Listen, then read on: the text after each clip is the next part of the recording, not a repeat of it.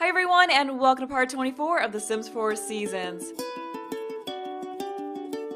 So Rachel goes off to school soon, but she's just starting off her day by giving Rosemary some attention, although the school bus, uh, you know what, actually should have left for school already, so we should let her do that, but I just wanted to see if first we could have her join after school activity because I really wanted to put her in the Scouts program because I forgot to do that in the last part, and I just been so excited to finally explore that part of the game because, yeah, prior to this, we of course have not got a chance to do that.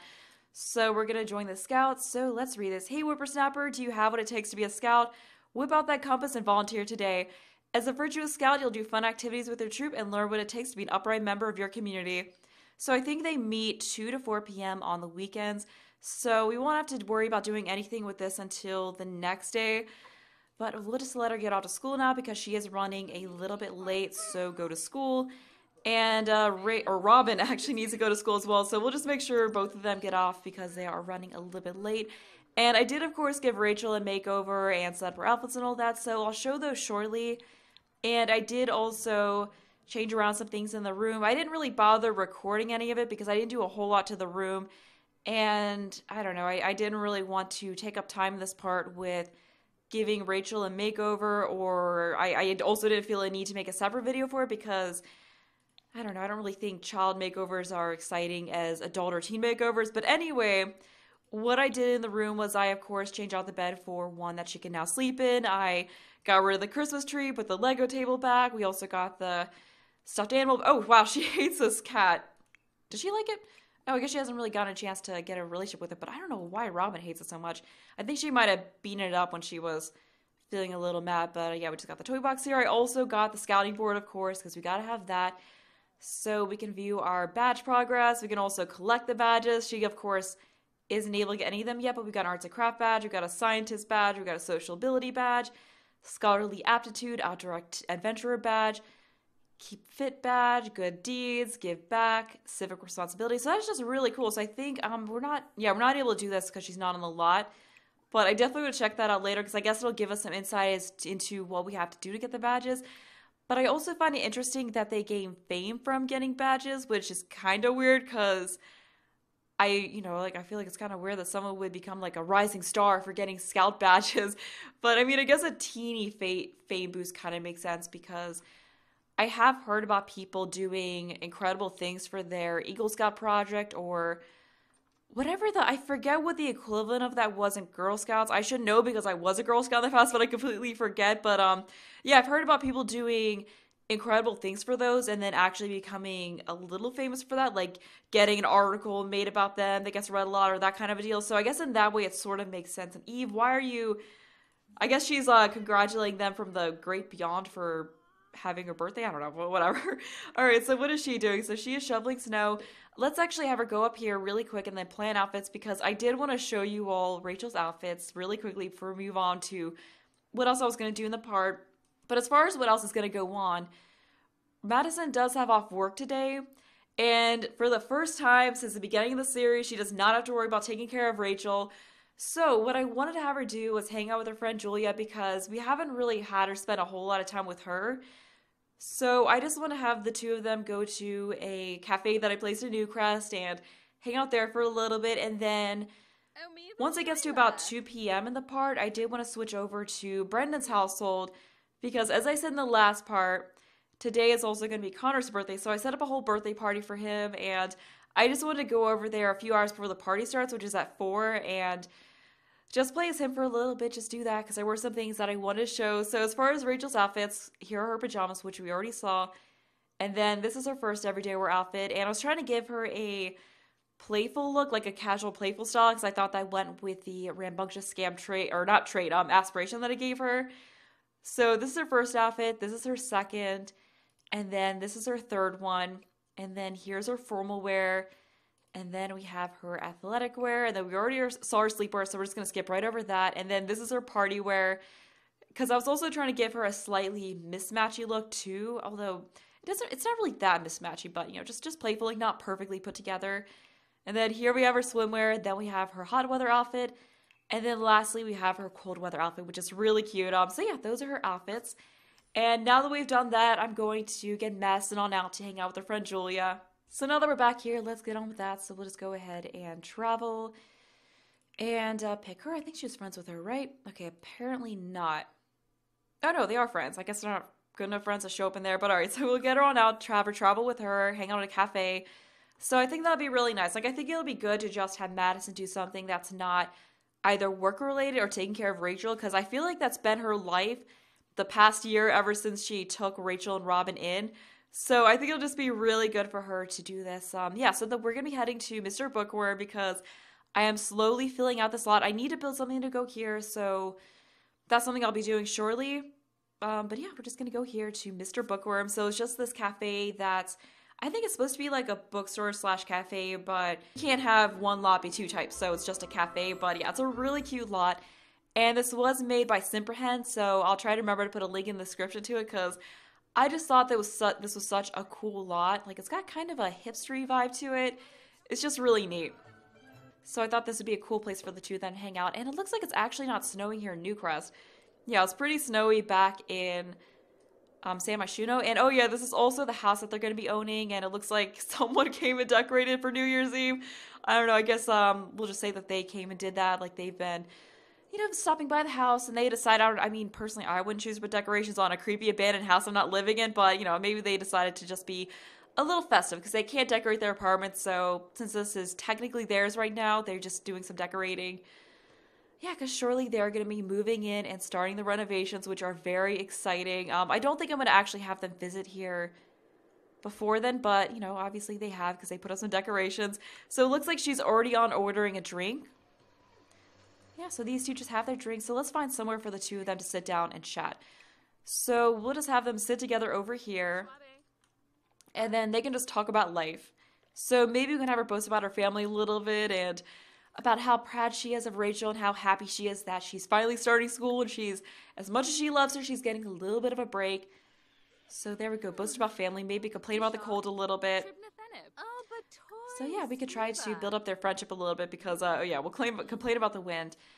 Yeah, because I feel like her friendship with Julia is one that she's been neglecting because everyone else in the gardening group are parents, so she's kind of been hanging out with them over that. But yeah, now that she's getting a little bit of a break, just catching up with her, so we'll tell Outrageous story. Flash Crazy Eye, she's feeling a bit playful. What does she want to do? So she wants to pester someone. Maybe we won't do that. Buy a pet bed. Ooh. Oh, there's not enough room for one though, but we should definitely get a pet bed for Rosemary at some point. We could do that once they move out. Like, I'm just so excited for them to have more space and be able to get things that they can't fit in their apartment now. Like, like I talked about in the last part, I'm really excited to get her the video station and have her start on making some videos of her doing floral arranging because we will actually have room for the floral arranging station at the house. So we can do that. And who was this?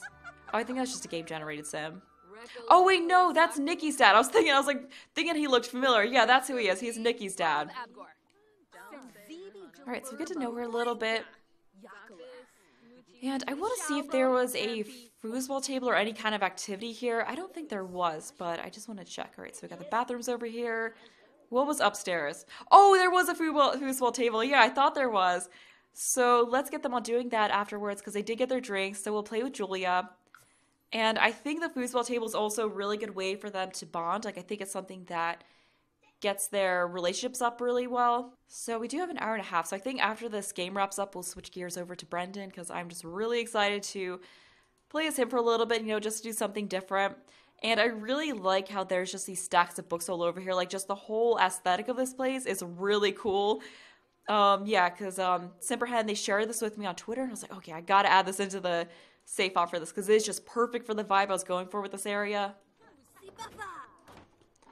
Alright, so let's get a picture of these two playing their game. Yeah, I'm not sure who's winning. We can't really tell, unfortunately. Yeah, I guess we'll find out who's winning at the very end. Looks like she did something good. Yeah, so I guess Julie is winning right now. And I wanted to see if this place was also decorated for New Year's Eve because I just really like looking at the decorations. Oh yeah, it is.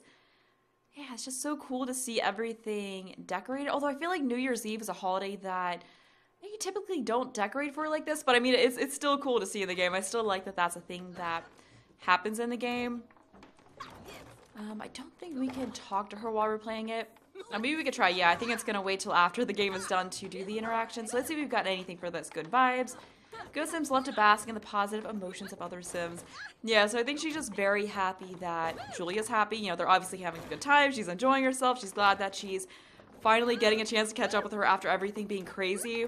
And let's see what else we got going on down here. So we got the whole cheerful decor thing. She is happy from having an excellent holiday yesterday, like from watching the TV show premiere. Oh, and I also had Rachel do it um, because when I went back into the game before recording the part, it had fixed itself so that she could actually watch premiere. So kids can watch it. Um, but I think it just got stuck on her not being able to do it from being a toddler.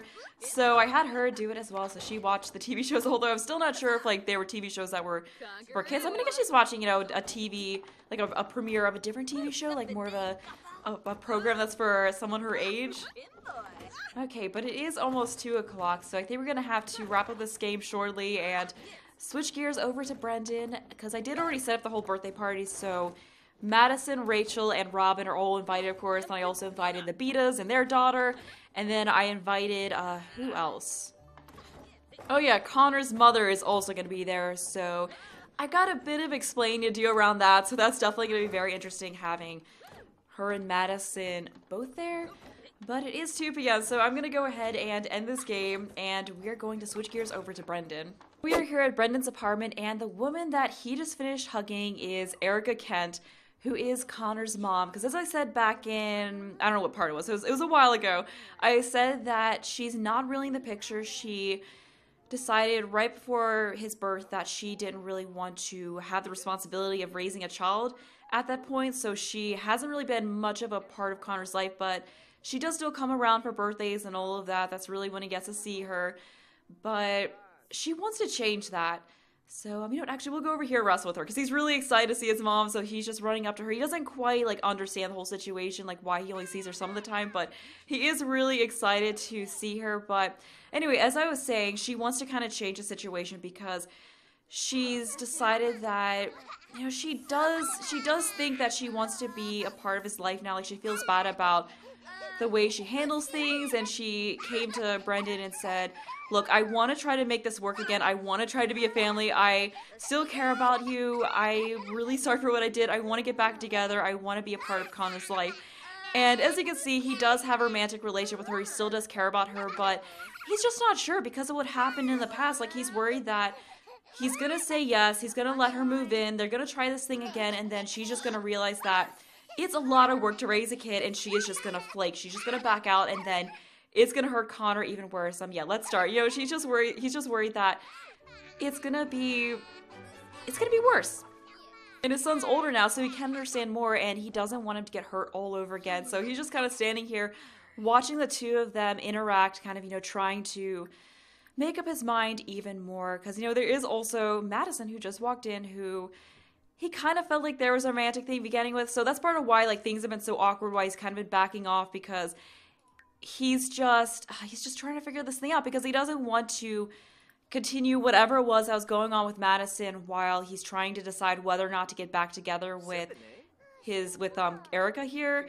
So yeah, that's why he's kind of been cold lately and then he's just not even sure like whether things would work out with Madison because while she thinks he's sending mixed signals, he she's definitely sending mixed signals to him as well. Like she's not really it's not really clear to him what her intentions are and what she wants out of it.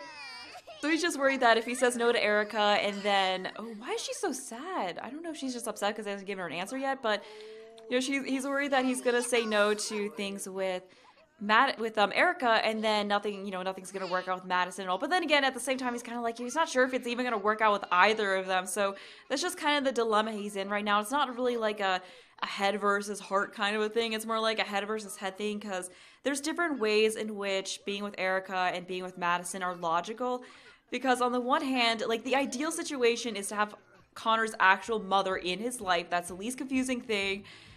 But at the same time, like he's worried that she's gonna flake, as I said. But then Madison seems like she would be a more steady presence in Connor's life. Like it's less likely that she's gonna flake on the child raising front because look at what she's been doing with her nieces. So he feels like she's gonna be a reliable mother figure for his son whereas he's not sure about Erica, but then Erica is a bit a lot clearer about her romantic intentions than Madison is. So I don't know, maybe it is a little bit of a head versus heart thing, but you know, both are logical and he obviously cares about both. So that's really the dilemma that he's in. And I know love triangles are overdone, but someone did suggest this situation, and I just really like the idea of it. And look at that. Madison and Erica are talking. Like I don't think I don't think Madison exactly well, I mean, I think she knows that she's Connor's mom, but she doesn't exactly know like what's going on behind the scenes. But you know, she's being pleasant. Like she's she's a really good person. She's not really prone to getting jealous over these things. So it's just really cool to see all of them sitting here and talking to Connor and you could tell Erica really does care about him. Like I feel like she genuinely is having second thoughts about the way she did things and really wants to try to actually be there for Connor. But the thing is, it's just a risk that she'll flake and why on earth is she wearing that? Like, I swear she just, like, randomly changed.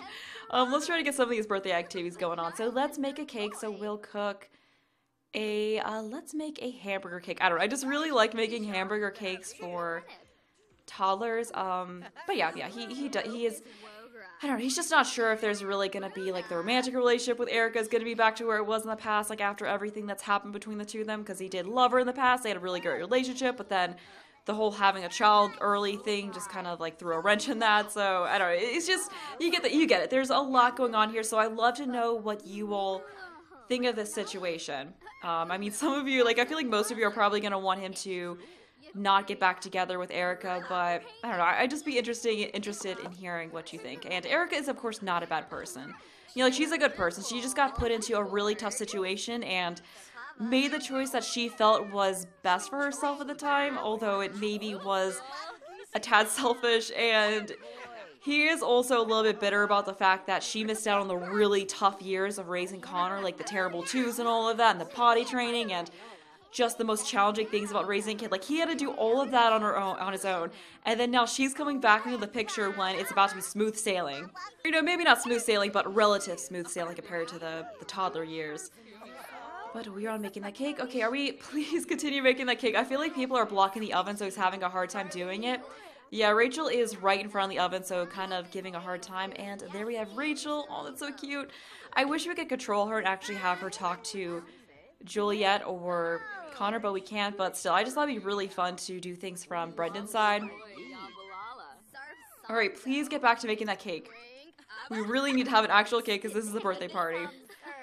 Yeah, I'm not really. I honestly shouldn't have done a gold event for this because I'm really not paying attention to the goals much. I just kind of forgot about that. I mean, we'll try to do some of them. We already got a bronze medal, so that's good. But I don't know. I'm just not too worried about getting a gold here. So what is Connor up to? So he is. Oh no! I was like, oh good, he's using the adult potty, but no, he is like. I mean, his father's making a cake right now, so he can't do this. I'm just gonna hope someone else stops him because he is just like splashing toilet water up. Look at that. That is disgusting. You're splashing nasty toilet water up into your face like you're giving yourself a toilet water face wash. That is disgusting. Like I just saw it dripping off of his face. You're disgusting. Oh, kids, yeah. See, look at what Erica missed out on. Uh, hey, neighbor, I'm bored. Want to hang out for a bit? I mean, you're already here at a party. What are you talking about? Let's see if we can have Connor hang out with... Oh, she just hugged Julia. That's cute. Um, let's have Connor hang out with Juliet for a little bit. So we can, oh, I think he hasn't really fully introduced himself to Julia. Um, so we'll invite her to dance. And we have made our cake. So let's get onto the counter and put the candles on it before someone steals it. So you can go right there. And then let's get those candles on it. And I'm just going to get, how much time do we have left? We got two hours left. So I'm just going to get right to the aging him up. So yeah, I'm really excited. I don't know, it just always, I, I said this in the last part, but I just always love aging up child sims and toddlers and teens and all of that. So let's go ahead and ask for. Oh, oh wait, let's do it from him. I mean, it doesn't matter, but uh, let's go to help blow out candles. We'll have Connor blow out the candles. Yay! And then look at Erica dancing. It really feels so weird to not be controlling Madison, Rachel, or Robin. Like, I just keep thinking I can control them, but I can't. What are you doing? Okay, no, no, no, no. Let's not do the high chair. Okay, are we doing it? Blow, come on, for oh, Pete's sake, help blow candles. Connor, let's do it. I feel like it's the lack of space that's making things a little tough, but we should definitely be able to do this. All right, let's uh, help him blow out. Let's uh, let's get a screenshot of this. I don't know. I just always like getting pictures of the moment they blow out the candle. It's always really cute. All right, I think that's good. All right, so grab that and then watch this. I'm so glad they fixed the whole not being able to change the speed in tab mode thing because I was dealing with that issue in the last part and it made it really hard to go into tab mode and take pictures. All right, so we got boosts. So we're at level one of the mental skill, level two of the motor skill, level one of creativity, and level two of social. So we got to pick this out. And he did have the wild trait. Um, so we did give Matt or not Madison, um, Rachel the motor one. I feel like that would suit him. I mean, it doesn't matter because we're not really gonna be playing as him, so I'll just give that to him because I feel like it suits him the best. And I also feel like he's just gonna be an absolute goofball. Like he definitely feels like a ham already. So we'll give him a goofball trait. And let's get a look at him. Oh, look at that. He's so freaking cute. And I'll definitely give him a bit of a makeover before the next part. Also fix up some stuff in his room. I mean, we're not really going to see it next time, but I just want to have it done for whenever we um, visit here again. So let's see. Erica sent Connor a gift, Look at it for arriving in the mail suit. Oh, I mean, she could just hand it right here, but that's really cute that she gave him a gift. So let's have him try talking to Erica, and I'm glad. Okay. Oh, they're just giving a friendly hug. Oh, that actually worked. Oh, look at that. That's good. Yeah, I really don't want to have any romantic interactions go on right here because he does have that little bit of a romantic relationship with her, but I'm really hoping he doesn't do any flirting because I, I think he definitely doesn't want to do that in front of Madison. Like, he just kind of wants to not be romantic with either of them. That'll make things real awkward in the situation. And I think Erica is just a, a cute sim. Like, I don't know, I just think she's adorable. I really like her. Um, so we'll maybe we shouldn't express admiration. I know that's not flirty, but let's not do it. Um, we'll ask her about her day, see how, see how that's been going, see how she's enjoying the party. Uh, let's go ahead and... What else can we do? Discuss world peace. We'll do that for being a good sim. Oh yeah, he was also good. What were traits again? He is... Oh yeah, and he also has a positive reputation. So that's really cool that they can develop their reputation even without being famous. I love that that's a...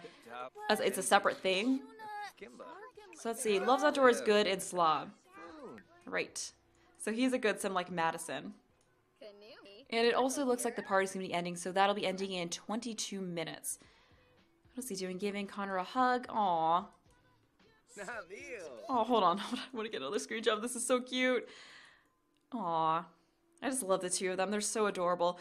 Oh, and I also wanted to have Connor talk to Rachel a little bit since they were good friends, or I mean, we can work on having them. They're not actually good friends yet, but we can definitely work on that. It'll be a little bit easier now that they're older. So let's complain about freezing temperature. Oh, he's also really hungry. So let's have him take a piece of that cake. And then we can goof around with her. I don't know, I just feel like it'd be adorable for these two to just become really good friends. Like, I just want them to become best friends. Ooh, her emotional control went up. Um, so let's... I don't know, let's complain about problems, although we should really let him get on having that cake. All right, happy birthday. Someone left you a nice new dresser in your household inventory. Maybe it was a hint to start dressing your new age. Oh, that's, I haven't seen this before. That's really cool. I want to see what dresser it is because I'll definitely put this out in his room if it's something good. So it's this one. Uh, I mean, we could do it. What did I have in here as a dresser? I had this thing. You know what? I'm probably going to sell that and just put something else in because I like what we have in there for more. Like, yeah. Yeah, I'll just keep the furniture he has as much as I can. Alright, so I think everyone has left. Yeah, Rachel or Robin's still hanging out, but I think she's going to be leaving shortly. So now that the party's over, I'm going to go ahead and end this part here. So if you enjoyed the video, think, Wait a minute!